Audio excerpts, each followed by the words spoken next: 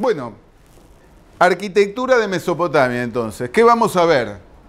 Eh, vamos a ver media docena de características muy básicas que, que, las vamos a ilustrar con una imagen, cada una de estas características. Vamos a empezar por la primera. Mesopotamia se dice que es el origen de las primeras ciudades. Es cierto que en el neolítico ya el hombre era sedentario, había aldeas, pero empiezan las ciudades medianamente planificadas, con calles, avenidas, ¿no es cierto? Con canales de riego. Entonces eso es lo interesante de Mesopotamia, que hay un grado de evolución mayor. Las primeras ciudades planificadas. Fíjense que aquel que domina los canales de riego va a ser el Estado. Entonces surgen las primeras instituciones estatales. El Estado es cuando una autoridad tiene el dominio el monopolio de la violencia para organizar una sociedad. ¿No es cierto? Después los estados van a empezar a, tener fricciones entre sí, distinto empiezan las guerras. Pero bueno, origen de las primeras ciudades planificadas, ¿no? que los arqueólogos fueron descubriendo en el siglo XIX y XX. La segunda característica, se va a utilizar eh, un instrumento muy útil que es el ladrillo, ¿no? El ladrillo que va a tener algunas características. ¿Por qué tiene este tamaño el ladrillo? ¿Ustedes se imaginan por qué? Para que sea manual, para la que podamos manejar con la mano, ¿no? Es un módulo que podemos manipular, es decir, manejar con la mano. Entonces surge el ladrillo como unidad o como, de algún modo, es una especie de piedra artificial que el hombre genera. ¿Y que cómo genera el ladrillo de adobe? Lo va a volcar, fíjense qué forma inteligente de inventar un material. Mezclamos un material que abunda en, nuestro planeta, que es la tierra. Lo mezclamos con agua. Si le pones un poco de pasto mejor, haces una, una amasás y lo depositas en un molde de madera. ¿No es cierto?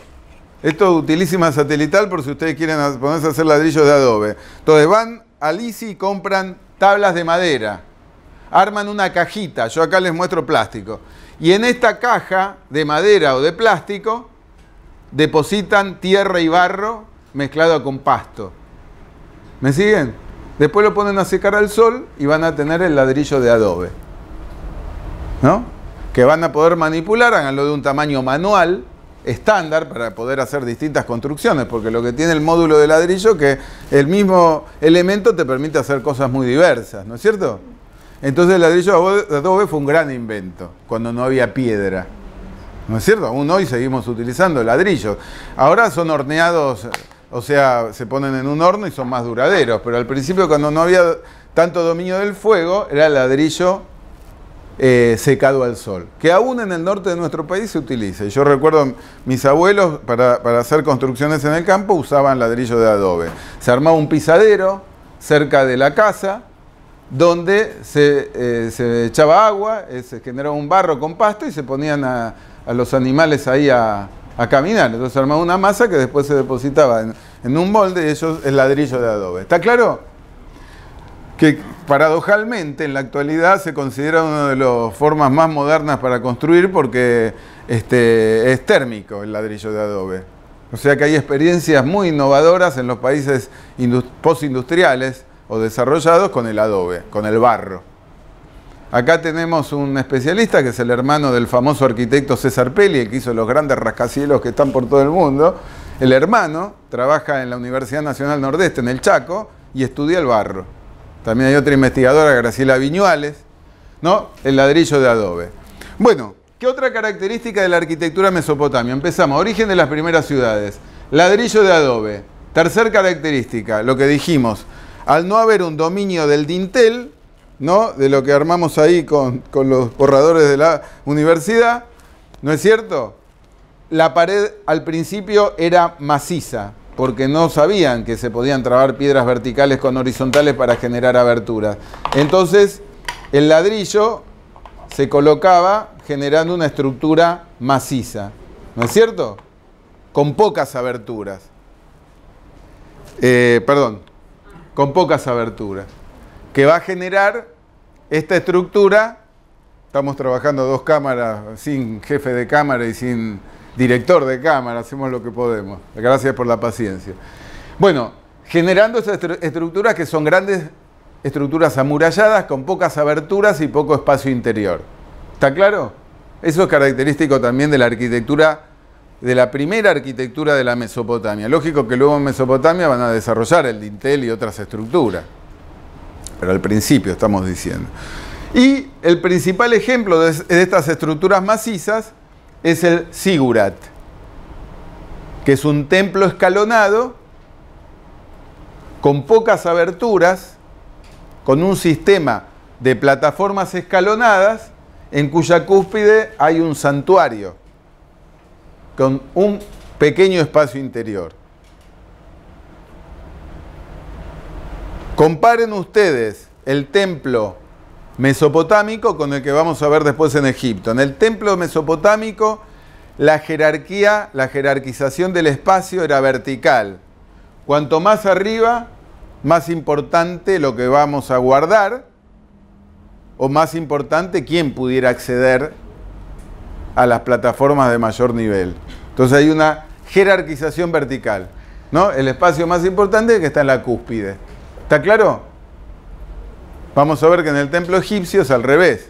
Cuanto más adentro del templo, es más importante el espacio. Como en las iglesias actuales también. Cuanto más al fondo, al fondo está el sagrario. ¿No es cierto? Entonces la jerarquización del espacio es horizontal en el templo egipcio, acá es vertical. ¿Está claro esa diferencia?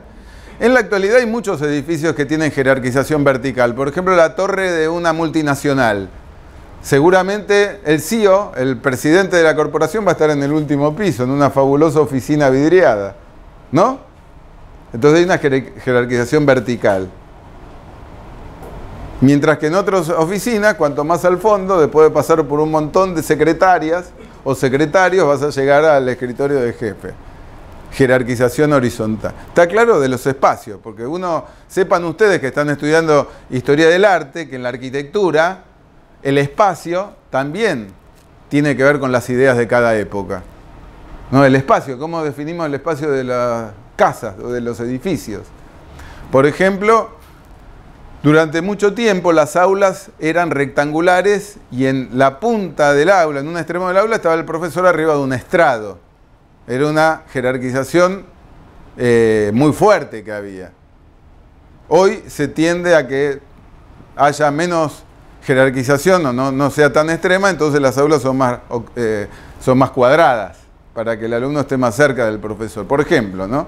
con las iglesias pasa lo mismo. Bueno, volvamos a lo nuestro.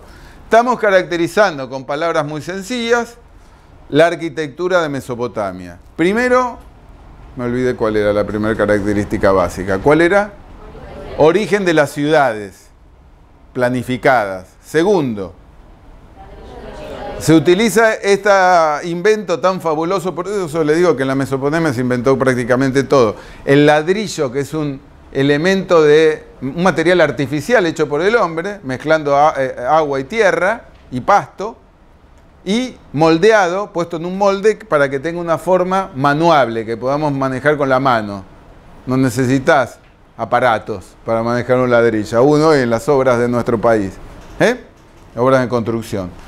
¿Y después qué más habíamos visto? Pocas aberturas porque no había un dominio del dintel, como señalamos acá. Y este, el, Sigurat como principal manifestación. Muy bien. Y, por último, muchos se han preguntado, especialmente cuando yo era adolescente, se editaban muchos libros. Había un famoso escritor que se decía arqueólogo, que era Erich von Daniken, que por ejemplo, y otros arqueólogos que decían que cómo es posible que haya formas escalonadas en Egipto, haya formas escalonadas en, México, en, el sudeste asiático, ¿no es cierto? Y entonces decía que podía haber fuerzas que no eran de la Tierra para generar estas estructuras tan universales, tan parecidas. Hoy día se sabe que las formas escalonadas, esta forma de, de construir escalonadamente, es un universal porque es la forma más obvia de hacer una estructura. la parte de abajo más ancha que lo que pongamos arriba, ¿no es cierto? Entonces las formas escalonadas son un, universal que hay en la arquitectura, en la historia de la arquitectura, en la historia del arte. Les puse ejemplos. En Egipto las tumbas más antiguas son pirámides escalonadas. Después vamos a tener que los mayas, los aztecas diseñaban templos en forma escalonada, en cuya cúspide se hacían sus sacrificios. Eh, los teotihuacanos en el centro de México también, en sudeste asiático, la civilización Khmer, por ejemplo, también tiene templos escalonados. De manera que es un universal.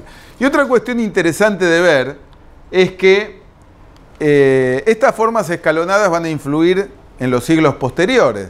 Les pongo como ejemplo, en, el mismo Irak, o en lo que es hoy la Mesopotamia, los arqueólogos descubrieron esta torre. Dijeron, en un momento descubrimos la torre de Babel, que se decía que era un sigurat, la torre de Babel bíblica.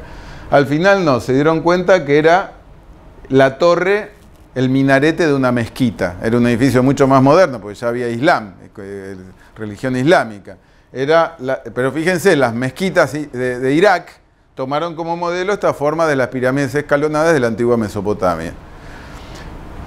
Para quienes eh, estén interesados en el turismo de fin de semana o regional o en el mini turismo, en el sur de la provincia de Buenos Aires han hecho una reproducción de una especie de sigurat, ¿no?